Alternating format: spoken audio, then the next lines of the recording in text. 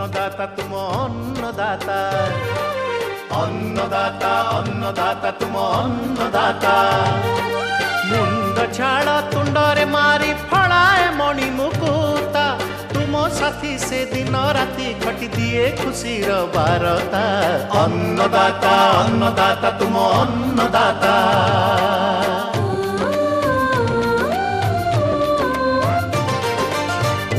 ପ୍ରଣାଳୀରେ ଚାଷ କରିଲେ ଶହେ ଗୁଣା ହୁଏ ଅମଳ ସୂଚାଇ ଦିଏ ଅନ୍ନଦାତା ଶସ୍ୟ ରକ୍ଷଣ ପଶୁପାଳନ ଦେଇ ଜ୍ଞାନର ଆଲୋକ ଆଗେଇ ନିଏ ଅନ୍ନଦାତା ଓଡ଼ିଆ ଚାଷୀଙ୍କୁ ଭାରତ ମାର ମୁକୁଟ କରିବା ଲାଗି ସଦା ସର୍ବଦା କରି ଜାଗ୍ରତ ସହାୟ ହୁଏ ଅନ୍ନଦାତା ଅନ୍ନଦାତା ଅନ୍ନଦାତା ତୁମ ଅନ୍ନଦାତା ଅନ୍ନଦାତା ଅନ୍ନଦାତା ତୁମ ଅନ୍ନଦାତା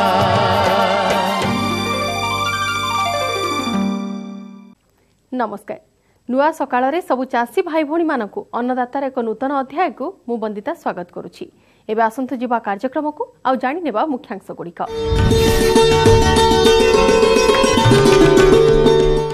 ମାଟି ପରୀକ୍ଷାର ଉପାଦାୟତା ଓ ଉପକାରିତା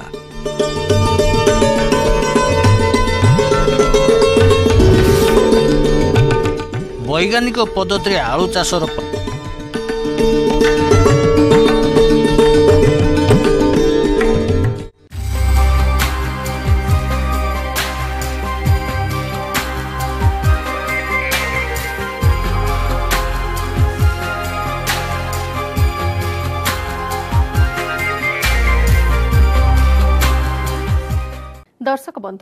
ଆପଣମାନେ ଖରାଟିଆ ଚାଷର କ'ଣ ସବୁ ଉପକାରିତା ରହିଛି ତା ଆମ କାର୍ଯ୍ୟକ୍ରମରୁ ଜାଣିଥିବେ। ବିଲ ଫସଲ ହେଉ କିମ୍ବା ଯେକୌଣସି ଉଦ୍ୟାନ ଭିତ୍ତିକ ଫସଲ ସବୁ ଏଇ ମାଟିରେ ବଢ଼ି ଅମଳ ଦେଇଥାନ୍ତି। ଆମ ରାଜ୍ୟରେ ଥିବା ପ୍ରାୟ ଛଅ ପ୍ରକାର ମୃତ୍ତିକାର ନିଜସ୍ୱ ଗୁଣ ଅଛି। କେଉଁ ମାଟି ଅଧିକ ଉର୍ବର ତ ଆଉ କେଉଁଟି ପୁରା ଅନୁର୍ବର ତେଣୁ ଏହି ପ୍ରକାର ସମସ୍ୟା ବହୁଳ ମାଟିର ପ୍ରଥମ ଉପଚାର ଆବଶ୍ୟକ। ତାହେଲେ ଚାଷୀ ସେଥିରେ ମଞ୍ଜି ବୁଣିଲେ ଫସଲ ଆଶାନ୍ୱିତ ଅମଳ ଦେଇପାରିବ। ଏଥିପାଇଁ ପ୍ରଥମେ ମାଟିର ପରୀକ୍ଷା କରିବା ନିହାତି ଆବଶ୍ୟକ। ଏହି ମୃତ୍ତିକା ପରୀକ୍ଷାର ଉପାଦେୟତା ଏବଂ ଆବଶ୍ୟକତା ଉପରେ ଆସନ୍ତୁ ଜାଣିବା।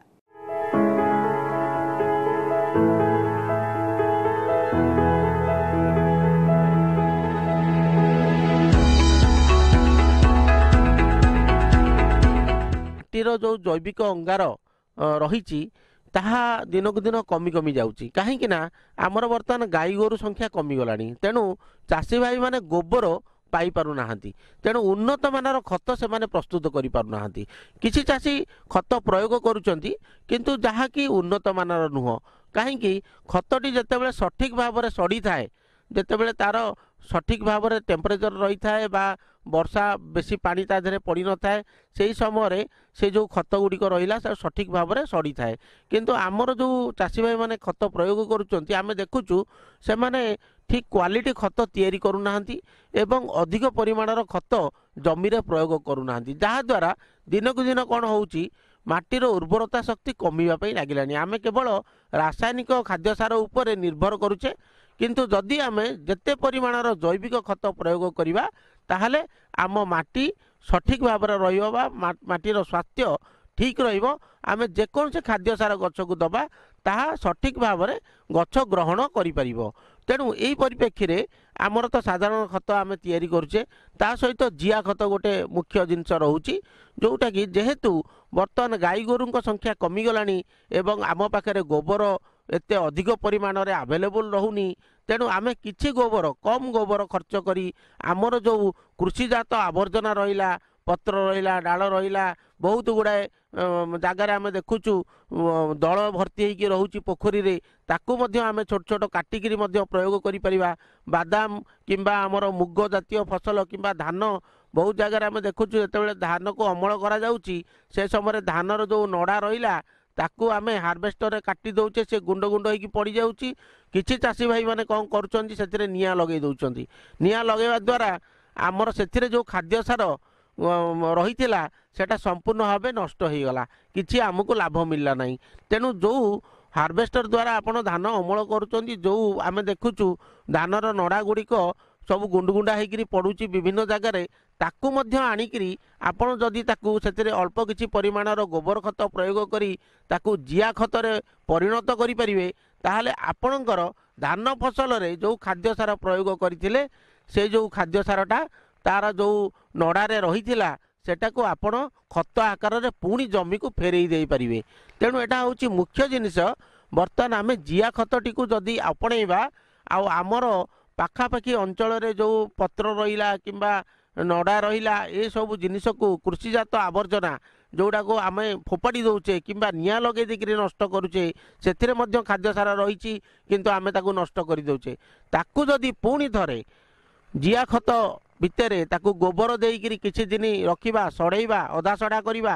ଅଧା ସଢ଼ା କଲା ପରେ ଆମର ଯେଉଁ କିସମ ରହିଛି ୟୁଡ୍ରିଲସ୍ ୟୁଜିନ୍ କିମ୍ବା ଇସିନିଆ ଫୋଇଟିଡ଼ା ଜାତୀୟ ଜିଆ ରହିଛନ୍ତି ଯେଉଁମାନେ କି ଯେତେ କୃଷିଜାତ ଆବର୍ଜନା ଭିତରେ ରହିଲେ ମଧ୍ୟ ସେମାନେ ମରିବେ ନାହିଁ। ଅଧିକରୁ ଅଧିକ ସେମାନେ ସେଇ ଆବର୍ଜନାକୁ ଖାଇକିରି ଜିଆ ଖତ ଭାବରେ ପରିଣତ କରିପାରିବେ। ସେମାନଙ୍କୁ ଯଦି ତା ଦେହରେ ଆମେ ଛାଡ଼ିବା ଏବଂ ଯେଉଁ ରହିଛି ଜିଆ ଖତ କେଉଁଭଳି ଭାବରେ ପ୍ରସ୍ତୁତ କରିବେ ତାକୁ ତାର ପ୍ରୋସିଜିଅରକୁ ମାନିକିରି ଆମେ ସଠିକ୍ ଭାବରେ ଜିଆ ଖତକୁ ପରିଣତ କରିବା ତାହେଲେ ସେଇ ଜିଆ ଖତ ଯେଉଁଟାକୁ କି ଆପଣ ବ୍ୟବହାର କରିବେ ଆପଣଙ୍କର ଜିଆ ଖତରେ ସାଧାରଣ ଖତ ଠାରୁ ଅଧିକ ପରିମାଣର ଯବକ୍ଷାରଜାନ ଫସ୍ଫରସ୍ ପଟାସ ଏବଂ କେତେ ଗୁଡ଼ିଏ ହରମୋନ୍ ରହୁଛି ଯେଉଁଟାକି ଆପଣଙ୍କର ଜିଆ ଜଳସାର ଯେଉଁଟା ରହୁଛି ତାକୁ ଯଦି ଆପଣ ପ୍ରୟୋଗ କରିବେ ଆପଣ ବାହାରେ ଯେଉଁଭଳି ଭାବରେ ହରମୋନ୍ ଆଣିକି ପ୍ର- ପ୍ରୟୋଗ କରୁଛନ୍ତି ପନିପରିବା ଫସଲରେ ଫୁଲ ଗଛରେ ତାକୁ ମଧ୍ୟ ଆପଣ ପ୍ରୟୋଗ କରିପାରିବେ।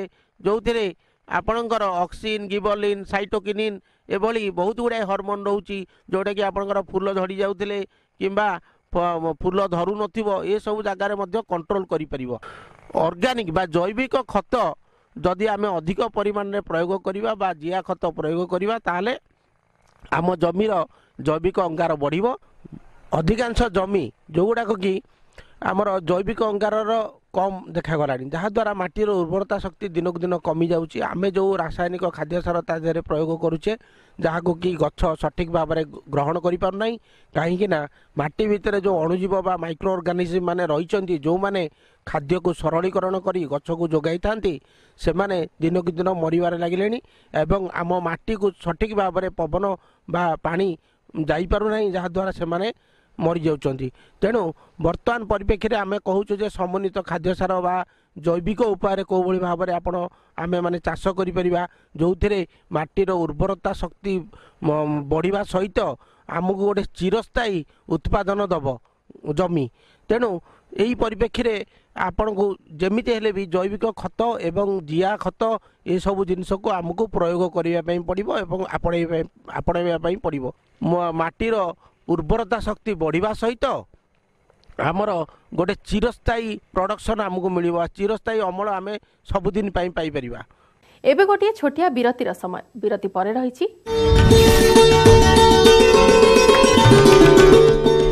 ବୈଜ୍ଞାନିକ ପଦ୍ଧତିରେ ଆଳୁ ଚାଷର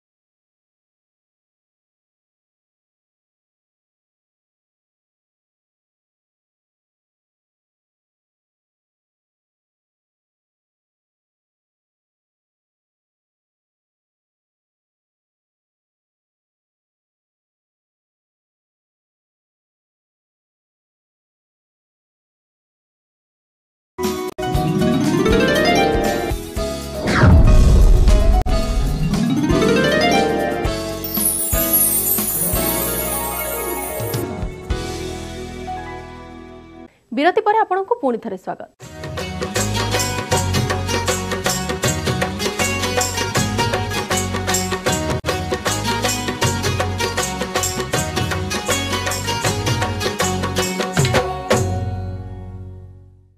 ବର୍ତ୍ତମାନ ଶୀତ ଋତୁର ସମୟ। ଏହି ଶୀତ ଋତୁରେ ବିଭିନ୍ନ ପ୍ରକାର ପନିପରିବା ଫସଲ ଚାଷ କରାଯାଏ। ପନିପରିବା ଫସଲ ମଧ୍ୟରେ ଆଳୁର ଚାଷ ଅନ୍ୟତମ। ଆଳୁ ଆମ ଦେଶରେ ଏକ ମୁଖ୍ୟ ପରିବା ରୂପେ ବ୍ୟବହୃତ ହେଉଛି। ଆମ ଓଡ଼ିଶାରେ ଚାଷୀ ଭାଇମାନେ ବ୍ୟବ- ବ୍ୟବସାୟିକ ଭିତ୍ତିରେ କୃଷି ବୈଜ୍ଞାନିକ ପରାମର୍ଶ ନେଇ ଆଳୁ ଚାଷ କରିଲେ ଅଧିକ ଆଳୁ ଉତ୍ପାଦନ କରିବା ସହ ବାହାର ରାଜ୍ୟ ଉପରେ ନିର୍ଭର କରିବାକୁ ପଡ଼ିବ ନାହିଁ। ତେବେ ଆଜି ଆସନ୍ତୁ ଜାଣିବା ବୈଜ୍ଞାନିକ ପଦ୍ଧତିରେ ଆଳୁ ଚାଷ ବିଷୟରେ।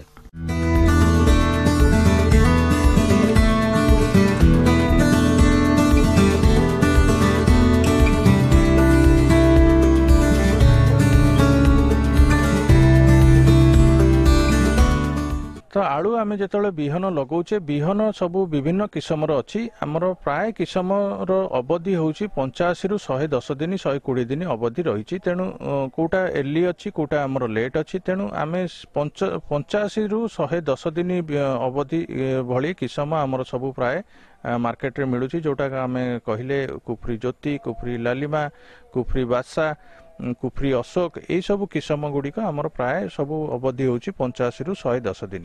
ଆଉ ସାଧାରଣତଃ ଆମ ଆଳୁ ଯେତେବେଳେ ଆମେ କହୁ ଯେ ଆଳୁ ଯେତେବେଳେ ବଢ଼ିଲା ପରେ ଯେତେବେଳେ ଆଳୁ ଫର୍ମେସନ୍ ହୁଏ ତାକୁ ଟ୍ୟୁବରାଇସନ୍ କହନ୍ତି ସେତେବେଳେ ଆମର ତାପମାତ୍ରା ଯଦି ଅଠର ଡିଗ୍ରୀରୁ ପନ୍ଦରରୁ ଅଠର ଡିଗ୍ରୀ ସେଣ୍ଟିଗ୍ରେଡ୍ ଥିବ ତାହେଲେ ଟ୍ୟୁବରାଇସନ୍ ହେବା ପାଇଁ ବହୁତ ଭଲ। ଏବଂ ସେଥିରେ ଯଦି ସେଇ ତାପମାତ୍ରା ହେଇଯାଏ ତାହେଲେ ଭଲ ଆଳୁ ଆମର ଫଳିବାର ସମ୍ଭାବନା ଥାଏ। କିନ୍ତୁ ବେଳେବେଳେ ଦେଖିଥିବେ ଆପଣ ଗୋଟେ ଗୋଟେ ଆଳୁ ପ୍ରାୟ ଏ, ଖୋଳିଲା ବେଳକୁ ଉପର ଅ, ଟିକେ ଗ୍ରୀନ୍ ଥାଏ ଏବଂ ଭିତର ତାକୁ ଧଳା ଥାଏ ଆ, ଉପରଟା ଟିକେ ଗ୍ରୀନ୍ ଥାଏ। କିନ୍ତୁ ସେଇ ଆଳୁ ଖାଇବାକୁ ଭଲ ଲାଗେନି ତେଣୁ ସେଇଟା କାହିଁକି ହୁଏ ନା କା- ଯଦି ଆମେ ଆଳୁ ଲଗେଇବାର ସେଇ ଯେଉଁ ଆଳୁ ଯଦି ଅ, ହୁଡ଼ା ଭଲ ଭାବରେ ଦେଇନଥିବା ଉପରକୁ ଆଳୁଟା ପଳେଇ ଆସେ ଏବଂ ମାଟି ଉପରକୁ ଦେଖାଯାଏ ସେତେବେଳେ ସୂର୍ଯ୍ୟପ୍ରୟୋଗ ପଡ଼ିକି ସେଇଟା ଆମର ଗ୍ରୀନ୍ ଅବସ୍ଥାକୁ ପଳେଇ ଆସେ। ତେଣୁ ସେଇ ଆଳୁକୁ ଆମେ ଖାଇଲେ ଆମକୁ ଟିକେ ଅ, ଭଲ ଲାଗେନି। ତେଣୁ ଚାଷୀ ଭାଇମାନଙ୍କୁ ଅନୁରୋଧ ଯେ ଯେଉଁମାନେ ଆଳୁ ଚାଷ କର ଟିକେ ହୁଡ଼ା ଭଲ ଭାବରେ ଟେକିବା ଦରକାର ଏବଂ ମାଟିକି ଯେତେବେଳେ ମ- ମୂଳକୁ ମାଟି ଭଲ ଭାବରେ ଦେଇଥିଲେ ଏଇ ପ୍ରକାର ଆମର ଅସୁବିଧା ହେବ ନାହିଁ। ଆଳୁ ଲଗେଇବାର କଲା ପରେ ଜଳସେଚନଟା ନିହାତି ଦରକାର। ଜଳସେଚନ ଆମେ ଠିକରେ ଯଦି କରିବା ତାହେଲେ ଆମର ଆଳୁ ପାଇଁ ଭଲ। ଆମକୁ ପ୍ରାୟ ଫସଲର ଅବଧି ଭିତରେ ଛଅରୁ ଆଠ ଥର ଖଣ୍ଡେ ଆମକୁ ଜଳସେଚନ କରିବାକୁ ପଡ଼ିଥାଏ। ଏବଂ ଜଳସେଚନ କରିବାର ପରେ ତାପରେ ଆମର ଗୋଟେ ହେଲା ରୋଗ ପୋକ ପ୍ରଥମେ ଆମେ ଦେଖିବା ଯେ ଏଲି ବ୍ଲାଇଟ୍ ଲେଟ୍ ବ୍ଲାଇଟ୍ ଏଇ ଯେଉଁ ରୋଗ ଗୁଡ଼ାକ ଆସେ ଅ, ଆମର ସଅଳ ଏବଂ ଉଛୁର ଅ, ରୋଗ ଯେଉଁ ଗୋଟେ ପତ୍ରପୋଡ଼ା ରୋଗ ଟାଇପ୍ର ଆସେ ସେଇଟାକୁ ଆମେ ସାଧାରଣତଃ ପ୍ରଥମ ଅବସ୍ଥାରେ ଦେଖାଯାଏ ଏବଂ ଟିକେ ଫ- ଅ, ଅମଳ ସମୟରେ ଆମର ସାଧାରଣତଃ ଦେଖାଯାଏ ଏଇଗୁଡ଼ାକ ଦେଖିବା ମାନେ ଚାଷୀ ଚିନ୍- ସାଙ୍ଗେ ସାଙ୍ଗେ ଆମକୁ ଏଣ୍ଡୋଫିଲ୍ ଏମ୍ ଫର୍ଟି ଫାଇଭ୍ ତିନି ଗ୍ରାମ ଗୋଟେ ଲିଟର ପାଣିରେ ମିଶାଇ ଯଦି ସିଞ୍ଚନ କରିବା ତାହେଲେ ଏଇ ରୋଗକୁ ଆମେ ଦୂର କରିପାରିବା। ଆଉ ଗୋଟେ ହେଉଛି ଜଉ ପୋକ ଲାଗିବାର ବି ମଧ୍ୟ ମଧ୍ୟ ସମ୍ଭାବନା ଥାଏ। ତେଣୁ ଜଉ ପୋକ ଲାଗିଲେ ଥାୟୋ ମିଥକ୍ଜାମ୍ ଆମର ଯେଉଁ ମାର୍କେଟରେ ମିଳୁଛି ଥାୟୋ ମିଥକ୍ଜାମ୍ ଗୋଟେ ଗ୍ରାମ ଗୋଟେ ଲିଟର ପାଣିରେ ମିଶାଇକି ଆମେ ତାକୁ ସିଞ୍ଚନ କଲେ ଆମେ ଜଉ ପୋକରୁ ରକ୍ଷା ମିଳିପାରିବ। ଆଉ ଗୋଟେ ଦିଗ ପ୍ରତି ଆପଣ ଧ୍ୟାନ ଦେବେ ଯେତେବେଳେ ଆମେ ଆଳୁ ଚାଷ କରୁଛେ ଆଳୁ ଅମଳ କରିବା ପୂର୍ବରୁ ଆମେ ପନ୍ଦରରୁ କୋଡ଼ିଏ ଦିନ ପୂର୍ବରୁ ଜଳସେଚନ ବନ୍ଦ କରିବା ଦରକାର। କାରଣ ସେହି ସମୟରେ ଯଦି ଆମେ ଜଳସେଚନ କରିବା ତାହେଲେ ଆଳୁ ପଚିଯିବାର ସମ୍ଭାବନା ଥାଏ ଏବଂ ସେ ଆଉ ଷ୍ଟୋରେଜରେ ବି ବହୁତ ଦିନ ରହିପାରେ ନାହିଁ। ତେଣୁ ଏଇ ଜଳସେଚନକୁ ଆମକୁ ପନ୍ଦରରୁ କୋଡ଼ିଏ ଦିନ ଆଗରୁ ବନ୍ଦ କରିଦେବା ଉଚିତ। ତ ଏଇଭଳି ବୈଜ୍ଞାନିକ ପଦ୍ଧତିରେ ଯଦି ଆଳୁ ଚାଷ କରିବା ପ୍ରାୟ ଆମେ ଗୋଟେ ଏକରରୁ ବିହନ ଆମେ କହିଲେ ବିହନ ଆକାରରେ ଆମେ ଛଅ କୁଇଣ୍ଟାଲ ଲଗେଇବା ଏବଂ ଅମଳ ଆମର ପ୍ରାୟ ଷାଠିଏରୁ ଅଶୀ କୁଇଣ୍ଟାଲ ଖଣ୍ଡେ ଆମକୁ ଏକର ପିଛା ଅମଳ ମିଳିଥାଏ। ତେଣୁ ଚାଷୀ ଭାଇମାନଙ୍କୁ ଅନୁରୋଧ ଯେ ଯେଉଁମାନେ ବୈଜ୍ଞାନିକ ପଦ୍ଧତିରେ ଭଲ ଭାବରେ ଆଳୁ ଚାଷ କରୁଛନ୍ତି ସେ ଏଇ ପ୍ରତି ସବୁ ଦେ- ଦିଗ ପ୍ରତି ଧ୍ୟାନ ଦେଲେ ନିଶ୍ଚୟ ସେମାନେ ଅମଳ ଭଲ ପାଇବେ ଏବଂ ଲାଭବାନ ହେଇପାରିବେ। ଏବେ ଗୋଟିଏ ଛୋଟିଆ ବିରତିର ସମୟ। ବିରତି ପରେ ରହିଛି। ଓଡ଼ିଶା କୃଷି ଓ ବୈଷୟିକ ବିଶ୍ୱବିଦ୍ୟାଳୟ ଦ୍ୱାରା ରାଜ୍ୟ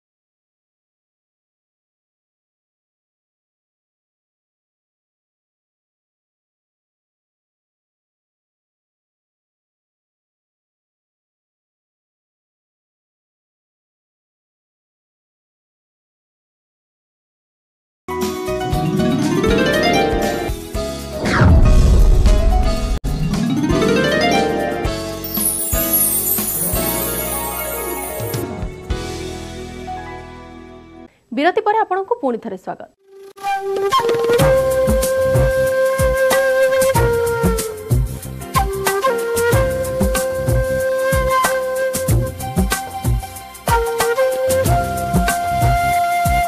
ସପ୍ତାହରେ ପାଣିପାଗ କେମିତି ରହିବ? ଆଉ ସେହି ଅନୁସାରେ କିଛି କୃଷି ସୂଚନା ଆମର ପ୍ରସ୍ତୁତିରେ।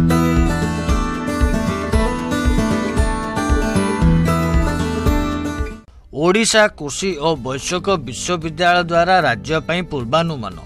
ବିଶେଷ ସୂଚନା ବର୍ତ୍ତମାନ ଡାଳୁଆ ଧାନର ତଳିଘରା ପ୍ରସ୍ତୁତି ପାଇଁ ଉପଯୁକ୍ତ ସମୟ। ଏକ ଏକର ଧାନ ଚାଷ ପାଇଁ ଦଶ ଡେସିମିଲ୍ ତଳିଘରା ଆବଶ୍ୟକ ହୋଇଥାଏ। ସକାଳ ଓ ସନ୍ଧ୍ୟା ସମୟରେ ଶୀତଦିନିଆ ପନିପରିବାରେ ଜଳସେଚନ କରନ୍ତୁ।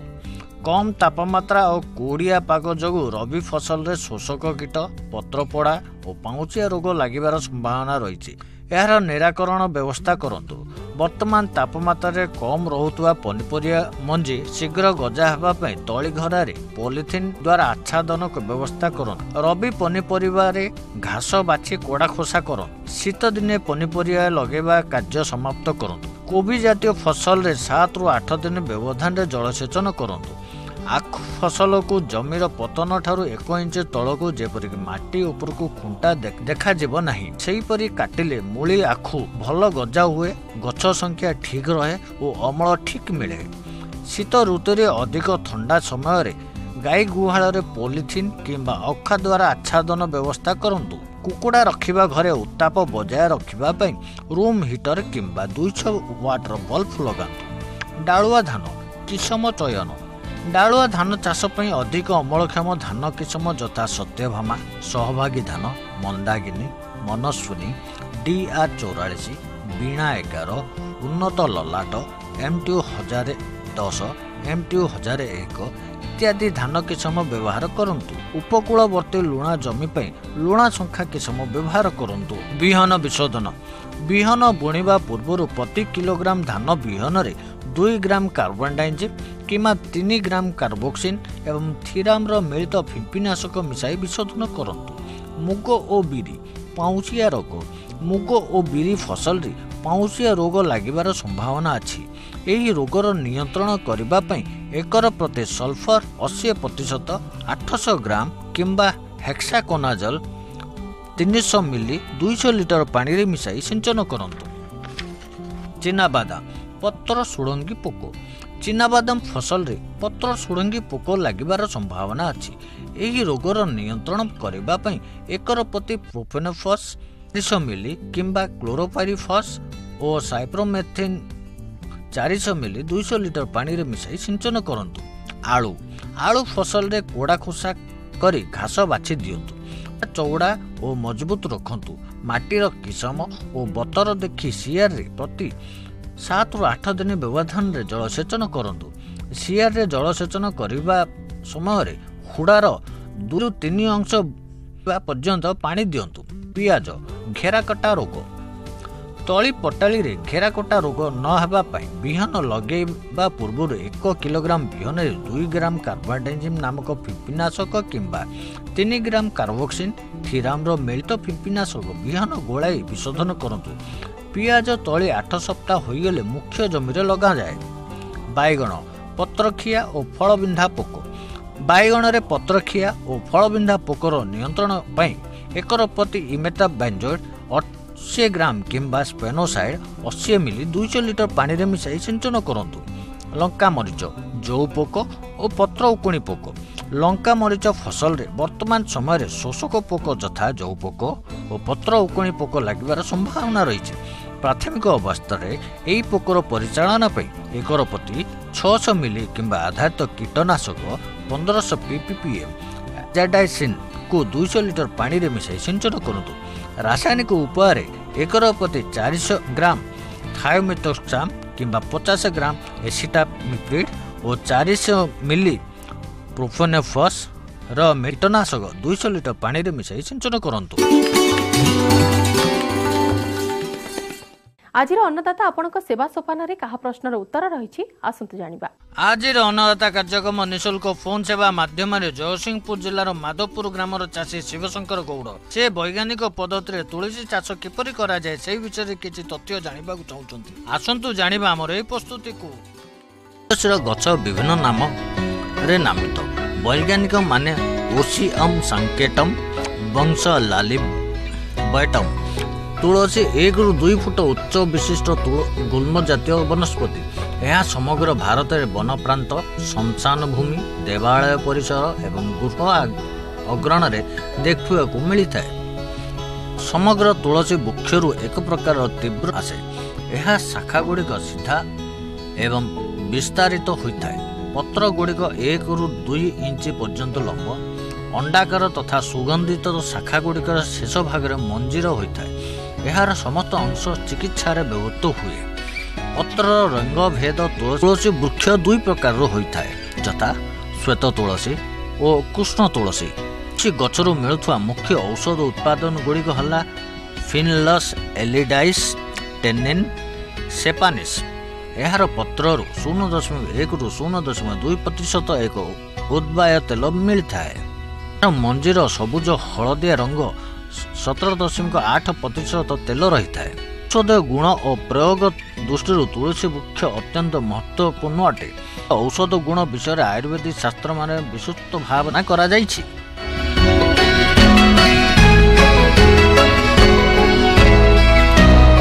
ତୁଳସୀ ପ୍ରାୟତଃ ବାଲିଆ ଦୋରସା ଜମିରେ ଚାଷ କରାଯାଇପାରିବ କିନ୍ତୁ ଏହା ସମସ୍ତ ଜମିରେ ମଧ୍ୟ ଚାଷ କରାଯାଇପାରିବ। ଯଦି ଜମିର ଅମ୍ଳତା ପାଞ୍ଚ ଦଶମିକ ପାଞ୍ଚରୁ ସାତ ରହିଛି ତୁଳସୀ ଚାଷ ପାଇଁ ବହୁତ ଉତ୍କୃଷ୍ଟ।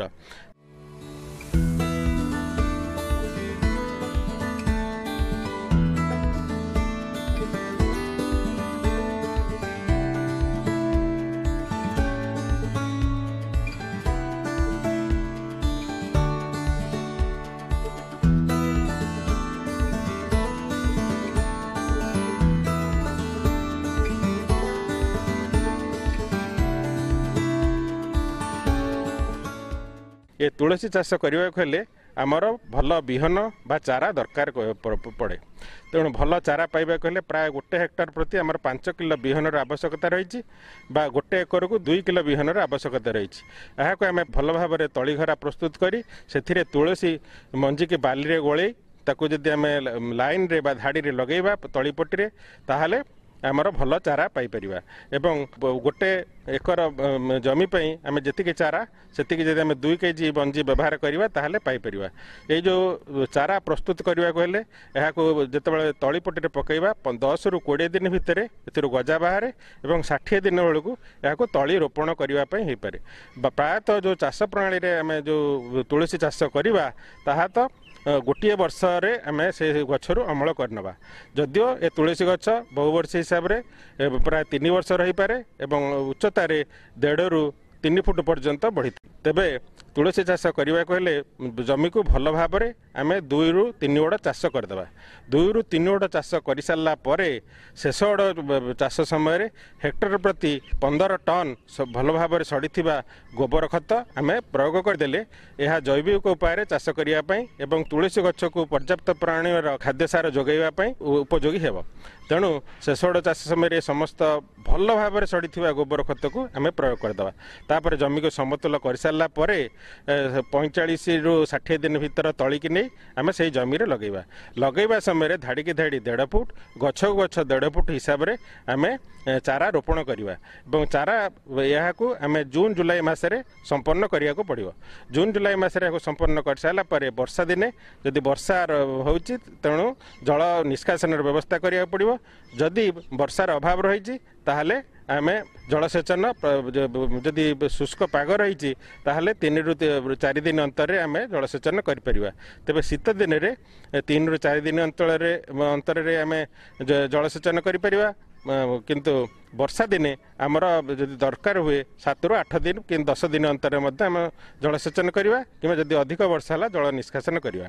ତେବେ ପ୍ରତି ମାସରେ ଆମର ବାୟୋଜାଇମ୍ ଏକର ପ୍ରତି ଆମର ଆଠ କିଲୋ ହିସାବରେ ଭଲ ଭାବରେ ଜମିରେ ଆମର ଅ, ବୁଣିଦେଲେ ଆମର ଏ, ତୁଳସୀର ଯେତିକି ଖାଦ୍ୟଦ୍ରବ୍ୟ ଦରକାର ଜୈବିକ ଉପାୟରେ ସେ ତୁଳସୀ ଗଛ ପାଇପାରିବ। ତେବେ ତୁଳସୀରେ ରୋଗ ପୋକ ବହୁତ କମ୍ ଦେଖାଯାଏ।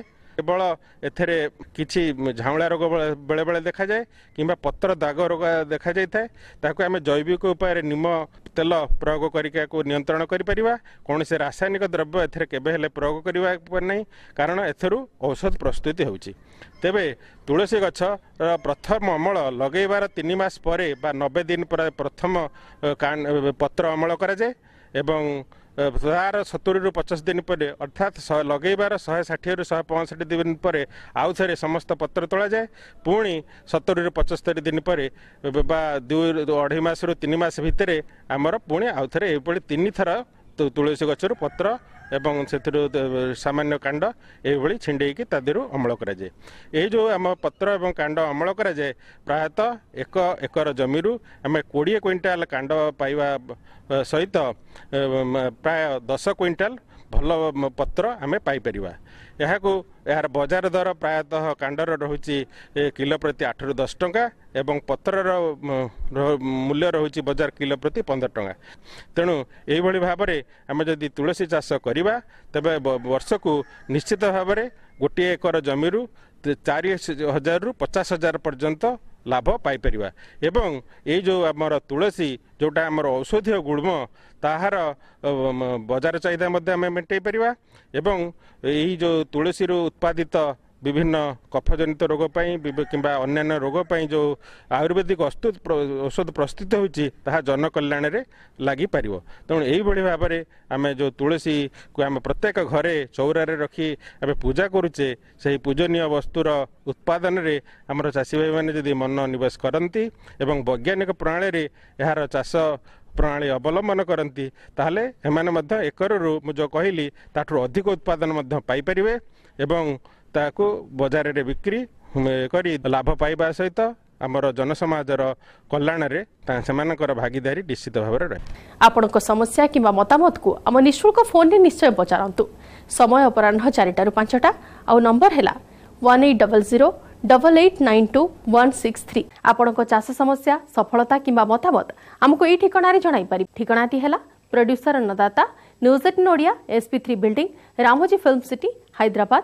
Five zero one five one two ଆମର ଇମେଲ୍ ଠିକଣା ହେଉଛି P eighteen Annadata Odia at N W eighteen dot com ସମୟ ଇସାରା ଦେଲାଣି। କାର୍ଯ୍ୟକ୍ରମକୁ ଏଇଠି ରଖୁଛୁ।